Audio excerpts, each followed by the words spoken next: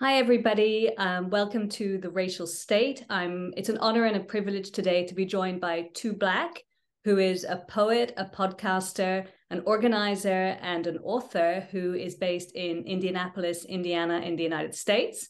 And he's agreed very kindly to talk to me today about a ca- campaign that he's involved in to free the Pendleton 2, which he'll be talking about in a little while. And he's also made a documentary on this case. So, just to begin, could you tell us a little bit about yourself, um, just to get things rolling?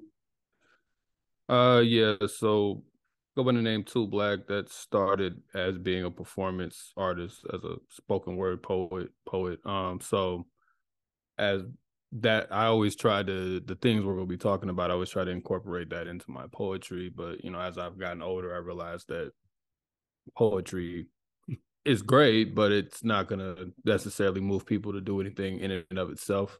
Uh, so you have to get get got to get your hands a little more dirty. So you know, I've ventured into organizing and um, you know podcasting to try to get the message out in other ways, um, and uh, and filmmaking as well. Um, in this case, um, so that's a little bit of my background without going into a long story. So. Yeah, you certainly got a lot of strings to your bow. And as an avid listener of your uh, podcast, the Black Myths podcast, I highly recommend uh, Too Black's work. It's really, really, I mean, it's taught me so much. And that's where I learned about the campaign to free the Pendleton 2. So, could you tell us a little bit about the Pendleton 2 themselves and a little bit about why you decided to make a film about them? Mm-hmm. Uh, so the Pendleton Two is uh, Christopher Naeem Trotter and um, John Balagoon Cole. They are political prisoners um, here in the United States in Indiana. Um, there was an uprising in 1985 um, that was sparked by the uh, beating of a um, another prisoner inside the uh, Pendleton Correctional Facility um, by the name of uh, Lincoln Love, aka Lokmar. He was being beat up by the prison guards who we find out later were a part of a white supremacist guard gang called the Sons of Light. Um, and not in a generic white supremacist guard gang, but they were a KKK or Ku Klux Klan right. splinter group, um, to, to be more specific. So he was being being beat up on this day. It was uh, February first, nineteen eighty five, mm mm-hmm. and um, they had rushed. They had searched the cells. They were in what was called the maximum security unit. That is the what people who may only know about prison through maybe films or something, what folks would call the hole or solitary mm-hmm. confinement or yeah. something of that nature. Um, and he was so so Lincoln Love was in this unit. The guards had searched the units multiple times. It didn't really, no one really understood why. And then they eventually targeted this unit. He was um, so several guards took billy clubs, they tear gassed the cell, they handcuffed him, and then they mm-hmm. brutally beat him to the point where the witnesses who were who who could see this from across the other cell thought that uh or the cell across from him thought that you know he was he was dead you know wow. so um so he was dragged out and then they shouted to population that's where there's less lockdown again for people who may not know a lot about prisons yeah. so they shout outside of their unit to where some mm-hmm. of the other mm-hmm. prisoners are and they get word down to um the who we're talking about the pendleton 2 they eventually, along with other prisoners, come to see what's going on because their understanding was that he was he was either dead or he was about to die. Uh, mm. That was their understanding. Yeah. Wow. So they went to the, the to the um, captain's office looking for him. Um, the you know, again, this is John Balagoon Cole and Christopher Naeem Trotter. Um, they couldn't. The they asked initially. They asked peacefully. Then they were attacked by the guards you know, you let the guards tell it. I was actually just looking through their version of the story. They never even threw a punch. the right, guards, course, if you let yeah. the guards tell it. but um, but so you know they're attacked by the guards. First, I think they said they were tear gas. They're trying to push to see because they want to know where he's at. Because there's this curtain that was pulled, and usually when this curtain was pulled in this particular office, that symbolizes someone was being beaten up. This yeah. was regularly known hmm. um, throughout the prison. Um, they couldn't find him, so after they push through this initial point of guards who attack them, they're going to well going to the um, infirmary infirmary looking for Lincoln Love, uh, aka Lokmar. And then at this point, this is when all these guards swarm. They're on the radio, you know, swarming to attack them, like the prison is being taken over, et cetera, et cetera. So then they're forced to the Pendleton two and the and the and the and the prisoners that they're leading are forced to fight off all these other guards that are taking them mm. And you know, long story short, they um they took a few people hostages. I hate to use movie references, but I know this is what people identify with. Yeah. So Yeah. if you're being chased and you imagine being chased by a bunch of guards and there's a cell house that you're trying to get into because you can seek refuge in there you take a few hostages so some of your people can sneak in and then that that kind of keeps the guards at bay Sure. they take the hostages they, and then they lock themselves in this cell house J for about 15 hours so then they call the media the black media specifically to get um to get to get help because they say look if you don't if you don't if you don't come they're going to kill us right so they Sure. call them the um, the black the eventually they that was a new that was a radio station eventually the newspapers the black newspaper of indianapolis indianapolis recorder and the general newspaper uh, the white newspaper of the city indianapolis star sends sends witnesses the national guard is called in um, Mhm. but the prisoners come together and they form um, about 14 different demands um, some of those were about um, you know, better, more erect time because a lot of times they're just on lockdown, so just having more time outside their cells. Mm. Uh, you know, better pay because they're working jobs in prison. Um, you know, at the time there weren't any black guards, so Mm. uh, they wanted to have more black guards. Um, there was food issues; they weren't they weren't able to really practice their religion and eat different kinds of foods. They were being Yeah. forced to eat pork. So that they were being forced to eat pork every day. That was part of the thing. Mhm. Mm. Yeah. So it was about 14 different demands. They used that to negotiate the release of the hostages and have these demands met. And then there was they were told there would be no retaliation, which, you know, the West will get to, that's not how it went down. So um they are walked back to their cells. I learned later, I didn't even know this. Um it really I don't even think I think I learned this after we finished the film that one of the journalists actually walks back with them to their cells, Mm. um, just to make sure nothing happened on the way there. Mm. Um, so they go back to their cells, but then they're thrown in the hole. And then the trial, which happens about two years later. So imagine they're already in the hole the whole time from 85 to 87. Um, so it's a little under two years, a little under three years, I should say. Uh, from, from and they're in the hole the whole time, just waiting to go to trial because they were kept in what was called segregation away from everyone else. Yeah. Um, so they they're getting shipped in different prisons even after that, and then they go to trial. It's an all white jury. Um, Mm. It's in a county that I believe at the time was forty percent black. So it's an all white jury. The the according to according to Naeem, one of the Pendleton 2, he you know he said that um some of the jurors even knew some of the people who worked in this prison. Um, and and they were a lot of them were from a city that was known to be a, a Klan hub, Elwood, Wow. Indiana, um, within Madison County. So, Mm. as you can probably imagine, for those listening, this trial didn't go well. But even when the evidence, because obviously their defense was self defense, um, but they were never allowed to present any of the evidence. They the it was deemed basically irrelevant to the to Hmm. the to the case. So their state of mind, why they had the state of mind, the conditions of the prison was all objected to by the prosecution and it was upheld by the judge. Often, Mm. when things were said that would have maybe been on the side of them, the jury was dismissed. Right. Um, like this sounds so bad, it almost sounds like I'm making it up, but that's that's what went down.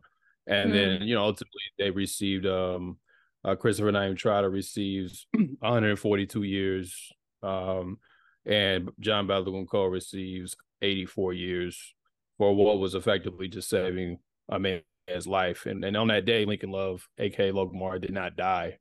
Yes. Um, you know, so that that that that did mean something because honestly, he probably would have, but the the guards who were beating him had to go chase the had to go chase these brothers. Um, and then so once they're convicted, they're moved around different prisons because they're seen as problems because of their ability to organize and Sure. influence the population.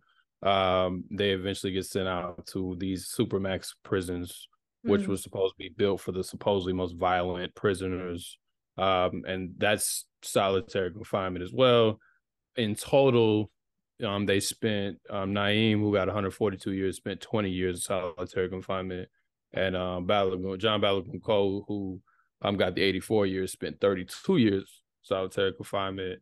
So um, neither one of them have been out that long, um, mm. and they're still in prison right now. So our goal is to our goal is in the defense committee, which I'm a part of, yeah. is obviously to to to free them. So you know one of the things we did to free them or to help free them is to you know make a documentary so people could mm hear them tell the story, not just me in interviews or someone yeah. else, um, like my co-director. I mean that's fine, but you can hear the film is very focused on them telling the story.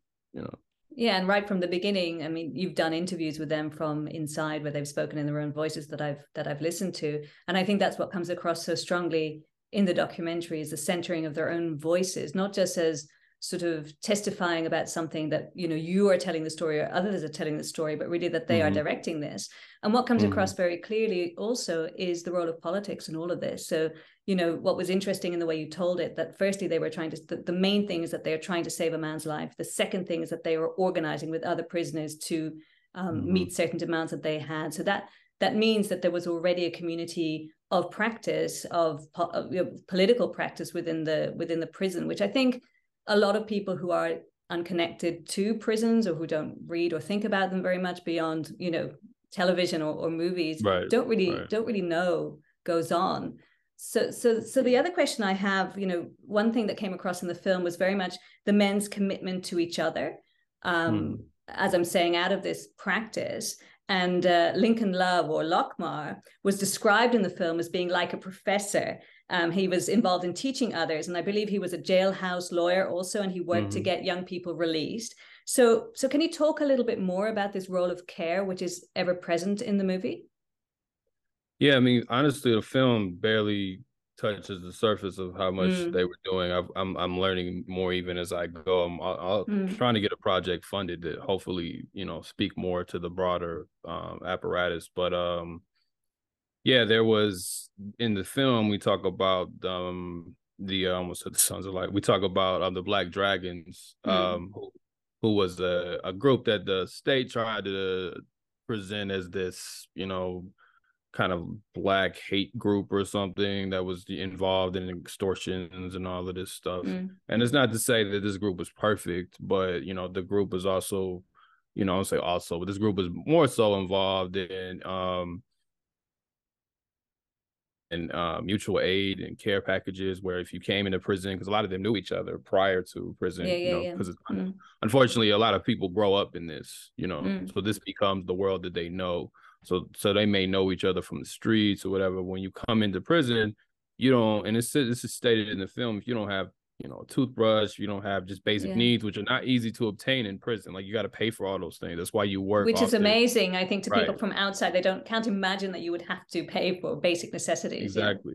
Yeah. yeah. So so people would, you know, put in for you if they already had it and give you a package. That way when you got in, you already had a little bit of what you would need in your cell, the toothbrush, the soap, etc., mm-hmm. just to take care of your very basic needs, right? Sure. Um so they also offered political education classes. Um, they were offering um, self defense networks and things of that nature. So people were getting trained, and you had to learn about history and things of that nature.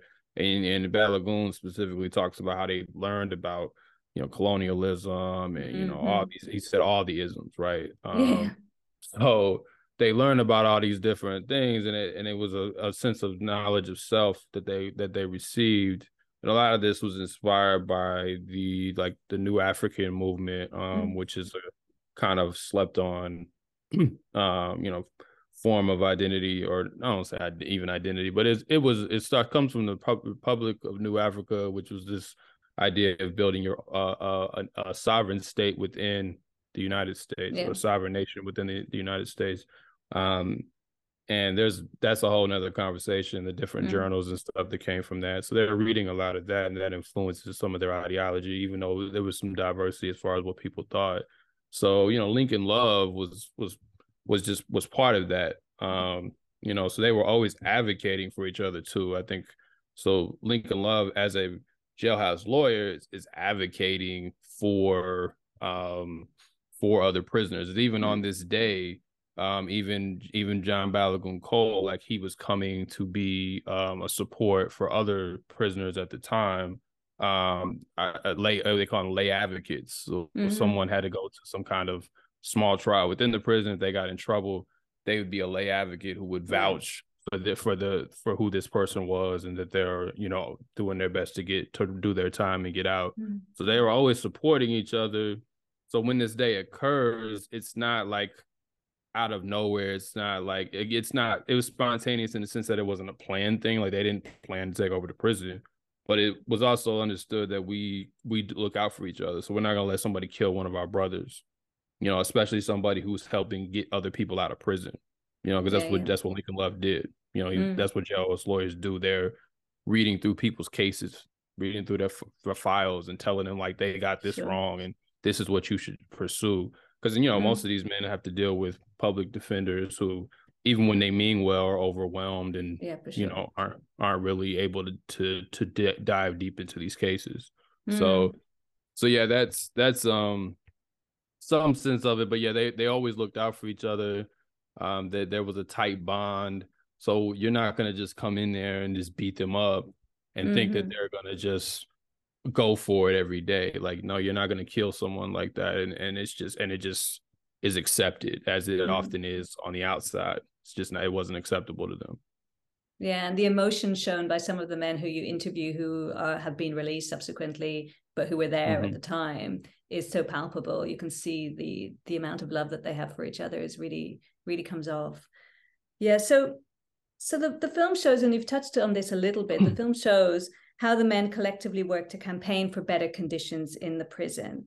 And I think a common belief is that when people are incarcerated, they effectively sign their rights away and they're seen as losing their right to protest. So, mm. as somebody who makes media um, and is an author and a poet and so forth, um, and you're also an educator, at least to me, how do you think it might be possible to change this this general belief? I mean, I think first people just need to. Like you mentioned in the question, um, in film shows, um, you know, they, particularly these documentary film, mm. like these documentaries and documentaries, air quotes, these like kind of reality TV, yeah, yeah, prison shows. They, they kind of exploit the day to day nature of it, or you know, they follow like three people's storyline and they make it very individualistic. Mm-hmm. Um, so you don't really get a good sense of the day to day other than these these are really sensationalized stories you know? That's right. Um but i mean on a very simple level it's, it's just to understand that people are doing time like they're there every day. Like this isn't a place that you go for like for a weekend you know? Like you are literally there every day right? So and to to, to survive you have to form bonds with other people whether you like the kinds of bonds people form is not for me to judge, but you have to form bonds with other people to just mm-hmm. make it through. And I know that from having family that's been locked up, people will always say, well, you know, they're thinking like they're in prison. It's like, well, they were there every day. So even if they didn't spend yeah. as much time as some, some of these gentlemen, even if they were there for a few years, it's still every day. Any mm-hmm. of us who have to be somewhere every day are going to adapt to that environment. That's just so it's no different in prison. Like it's not some kind of magical thing. Mm-hmm. It's like you have to spend five years somewhere. You're going to adapt to that place if you're there all mm-hmm. the time. And this is even worse because at least if you're at a job for five years, you get to leave. You know, you get to travel. You can go on vacation. They don't get just to do go home in the evening. Right. right. They, they don't get to do none of that. Like, so there's no even changing of the environment other than maybe different parts of the prison.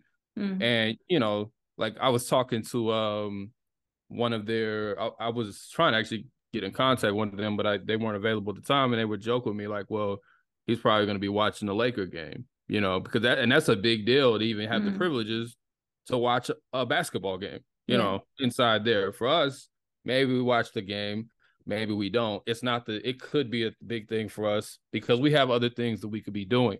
Mm-hmm. You know, they often get very little privileges, so those kinds of things matter.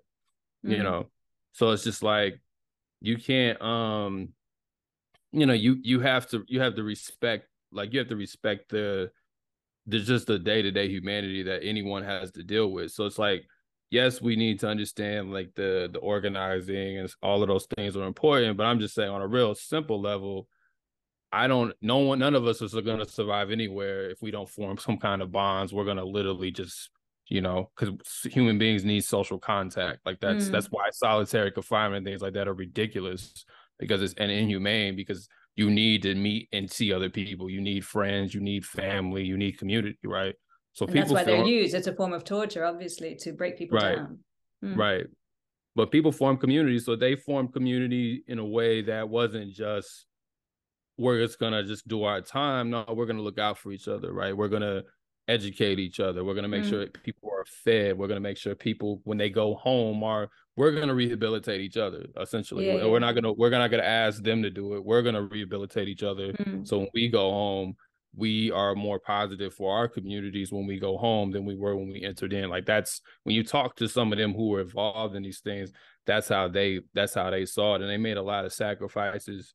You know, mm. sometimes not even fighting their own cases, is so they could help someone else with their case you know like that that's the that's the stand that they took. So um because it's like you have all this time it's like what are we going to do with it? And through their reading and through their understanding they felt like th- this needed to be more than just passing time you know we need to actually like help each other and look out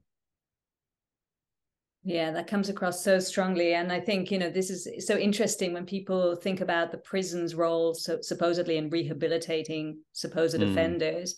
And what you've said there is that they are involved in rehabilitating each other because obviously the prison's role is not is not to do that, despite no, what is said on not, its face. Yeah. Right. Absolutely. So, so the film also talks about the role of the violent white supremacist um, group, the Sons of Light, which was active among the prison guards. So, mm-hmm. how do you think we can connect the appearance of basically fascism among police and prison guards more generally, which we obviously know is common? It's common here as well as in the US and elsewhere, and the overall carceral system itself, which might not be openly white supremacist, but which is still obviously integral to maintaining and reproducing state racism.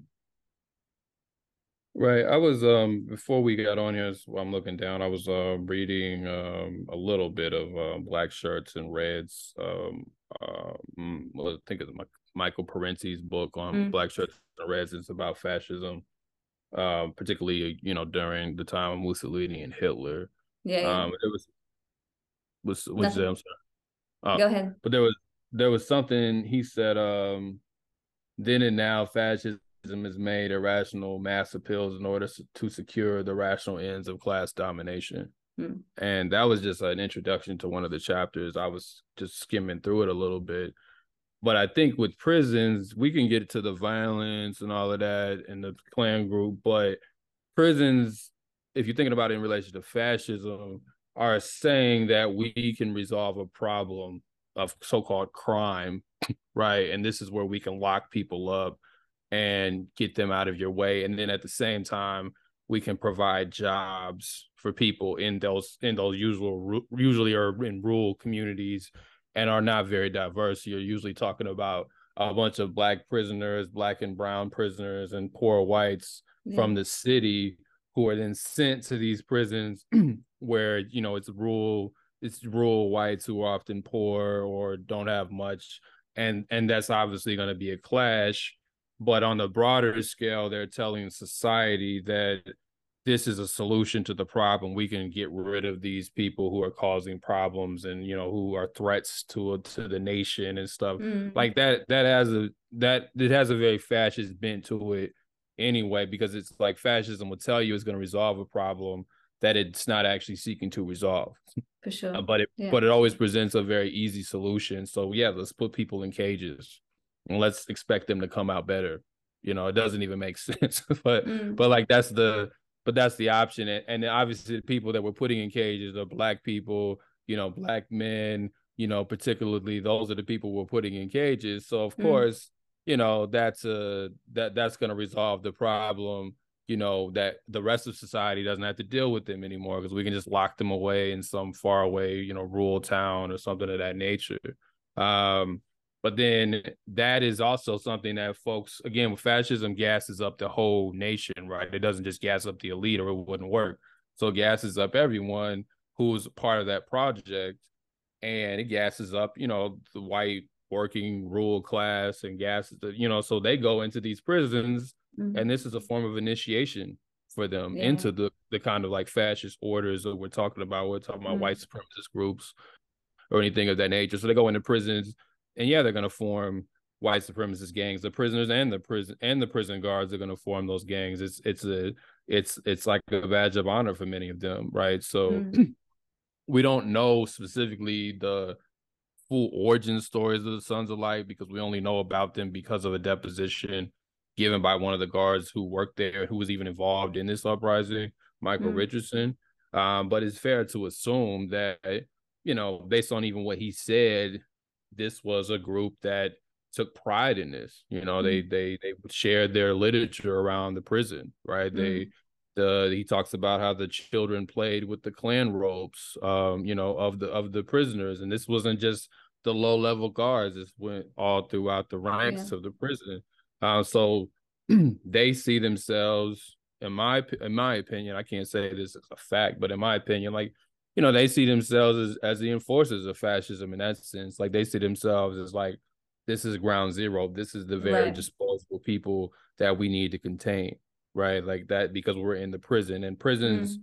Show you the class stratification, or particularly the racial stratification of society in very explicit ways because you can't really straddle lines as much inside prisons as you can on the outside. You can't really have it both ways in mm-hmm. the same way that you might be able to if you're petty bourgeois or something. That that doesn't really exist in prisons. There are still stratifications depending on what kinds of jobs people get in prison mm-hmm. sometimes mm-hmm. or who's giving like I guess order over a certain area. Some some so there's a hierarchy of prison.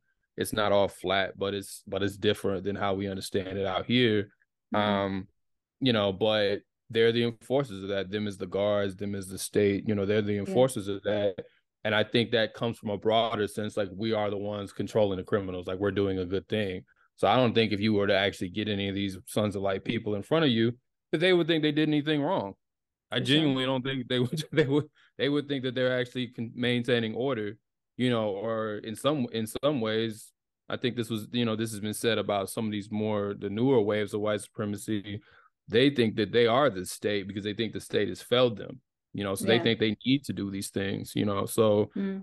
i think when we think about it in regards to fascism I had to think about how fascism always presents oversimplified solutions that people think will resolve problems and a, and a certain faction of people and they always have a scapegoat of folks right to to to gas other people up so you have white people who are gassed up by people at the border or prisoners or whatever mm. crime. And crime has always been one of the essential things to to use to gas people up is the fear of crime and this yeah this kind of this almost beast that is lurking behind the scenes that we all need to put down. Like that's a a common, you know, tenet of fascism and even liberalism, honestly. Absolutely. And I think, you know, what's interesting in that is that of course the state underwrites all of this. Mm-hmm. So, you know, in, in the name of kind of, again, like the, the, idea, the liberal idea of reform, but ultimately the state is underwriting the practices of fascism, which itself is, you know, imbricated in. Like you can't disentangle the two, despite the fact that, you know, today, and maybe this is why an organization or whatever you want to call them, the group, the Sons of Light, would see them as having to do the state's job for it because it's not doing it properly, is because of you know things like diversity. So, for example, mm-hmm. this idea that you know if we diversify the ranks of the prison guards and police, then somehow you know racism is going to you know slip away, which obviously we see isn't the case at all and in fact might lead to its intensification under the guise of you know diversity, which is something that you've written about on really, really well yeah. in another context. Yeah. Okay, so another thing um, I might want to ask you, and you've touched on this a little bit, but maybe another few words on it. So the importance of of maintaining one's own humanity and refusing to be uh, who they want us to be, which which is some, something that one of the men says at one point, is a really strong message in the film. So can you talk a little bit about this as a motivating force? Yeah, it was um, Naeem uh, mm. Christopher Naeem Trotter that said that um, about how he wanted to maintain himself, and they both said it in their own, own way that you, no matter what you do to me, I'm not. You're not going to turn me into the monster you keep telling me yeah. and telling everybody else that I am. Like you're mm-hmm. not gonna. I'm not gonna let you do it. You can. You can do a lot of things, but that's the one thing you can't break. You can't get to that, right? So there's something you know, I'm not to get like super spiritual here, you know, but I'm just saying there's something there for them though. There's something they're saying that is inside, that is internal.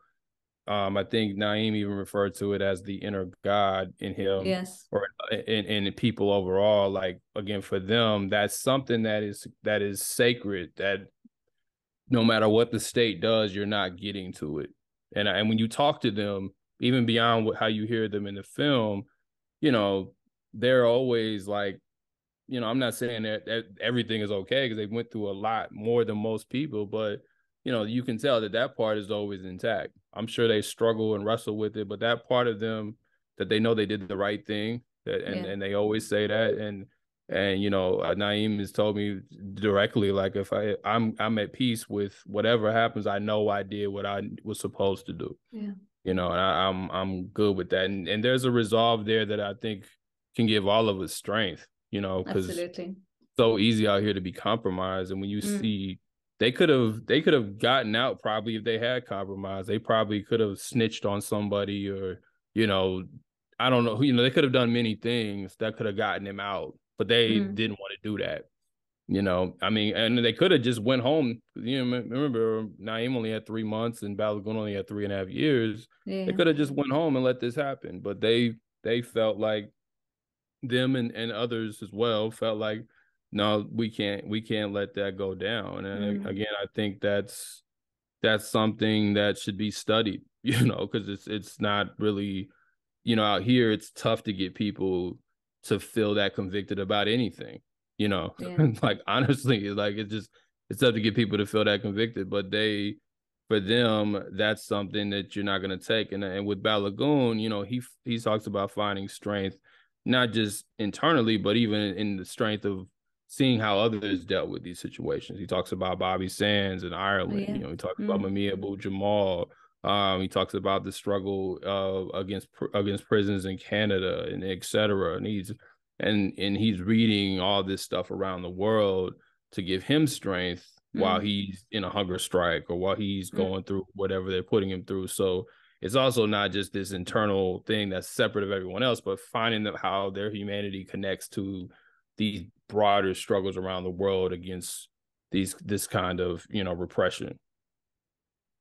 Yeah, absolutely. And I think, you know, to counter the individualism that we're we're taught today. I mean, I think mm. even, you know, young people are taught, you know, to get ahead, you have to think of yourself, or even things like, you know, misunderstandings of self-care and what that means and you know oh, there's so much emphasis yeah. there's so much yeah. emphasis on you know ourselves beyond anybody else mm. um, and it this is yeah it's incredibly inspiring and i'm sure that everybody who watches it will be inspired i certainly was i think i had a few tears in my eyes towards the end because it was just so that message was just so strong mm. yeah Okay, so so finally, what is any message that you might have for people outside the US who might be learning about this case for the first time? For example, as you know, I'm sure Indigenous people in Australia are among the most incarcerated people in the world. And, you know, talking of people rising up in prison just just now, just in the last few days, there was an uprising of young people who were who are incarcerated in um, Western Australia. So these are teens. And you know, just the rhetoric about them in the press is kind of violent or even terrorist. And these are, you know, young kids is mm-hmm. is absolutely incredible. But you know, they're anyway, how do you think it might be possible to make ties of solidarity between movements like and the campaign that you're involved in and and others that you might be aware of elsewhere? Yeah i mean we haven't really talked a lot about it in this conversation but when we talk about political prisoners um, you know i always say that's not just a, a label or something. It's it the point of it is to say um, from the from the perspective of the state it's that these individuals or this group whomever is targeted are we're going to punish them beyond whatever crime they may have committed or a crime that they didn't commit at all. uh, we're going to punish them beyond just the simple, oh, you stole something, you need to pay for it, whatever, mm-hmm. even if you don't, you know, regardless how we feel about that. No, we're gonna we're gonna give them the steepest penalty possible to make an example of them to the rest of the population so they never think that they can get away with mm-hmm. what these people just did right and that so you so when you think about it in that sense that's that's very broad and there's a lot of intersections and a lot of ways that we can connect our struggles because no matter what we're talking about whether we're talking about you know um you know, it's even someone like Martin Luther King would at, at the time would have been a political prisoner because he got arrested at protests. Nelson Mandela was a political prisoner, you know, for for for a very long time. Mm-hmm. You know, um, you know, um, Angela Davis was a political prisoner. I'm just naming like more internationally known figures. Like these are people who were locked up, um, whether they got out or not. You know, they were locked up because the, the point was to make an example of them to the rest of the world. Mm-hmm. You know, it's so so. In, whether we're talking about the struggles in Australia, whether we're talking about the struggles here, you know, when people rise up and do things that might go outside the lines that the state designed for you to do, and then they come and persecute them, if you're not if you're not one of those people who were out there initially, the very least you can do, excuse me, is have is have the back of those people. Yeah. Because otherwise the line is just going to get pushed further back. That's how it works. So if they're allowed to just send people to prison, like in, in the case of Pendleton 2 for 200 plus years for trying to save a man's life, and in case where no one even died, and that's just okay, mm-hmm. then the mm-hmm. line just gets pushed back and the next the next wave of things won't even be as radical as they used to be because people are more are probably even more scared. I heard there's not going to be as many people involved the next time or something of that nature. Because if you allow this to happen, then you know it's gonna it's gonna create a a, a chilling effect on yeah. on everyone else. And when you're dealing with when you're fighting against the state, when you're fighting against capital, when you're fighting against white supremacy, you need as many hands on deck as you can get, and you need as yeah. many people that feel emboldened to do what is ever necessary mm-hmm. to get free. The less and less you have that, the harder it's going to be to resolve your problems. So mm. when you when when when they push when they when they beat up on us, you know, we have to have each other's back. Like they they had each other's back. You know, they understood that they weren't going to let anybody um just beat up on someone nearly to death, and that was just going to be that. Nah, mm. like if they had anything to say about it, you know, they were going to intervene. And then, you know, if we're thinking about anything, whether it's the George Floyd, with all the stuff we see where people get yeah. killed on camera, not just here in the US, whether it's Palestine, wherever we're at, yeah. you know, emboldening people's ability to intervene in that, knowing that whatever is happening is already wrong, is the least we all can do. Even if I'm not saying everybody has to pick up a gun or do anything that's quote unquote illegal. I'm not just for, for the record, I'm not suggesting that. but I'm saying that even if it is just what we're doing, because we're not doing anything illegal, I'm talking about our campaign, we're simply just trying to help them get out of prison. You yeah. know, like that's that's all. We're, that's we're not doing anything that's going to send us to prison unless somebody again makes up stuff. we're not, you know, we're not crossing any lines. But the least you can do is that, you know, because the again, when those examples are made and the, the message the state is trying to send, you have to push back on that message mm-hmm. or they win. And and if we're trying to win, we, we can't tolerate that. Yeah, I think that's a really good place to end. I could ask you a million more questions, but I think we'll we'll draw it to a close. So thank you so much for taking the time to speak to us today, and um, let's free the Pendleton 2. Definitely, thank you.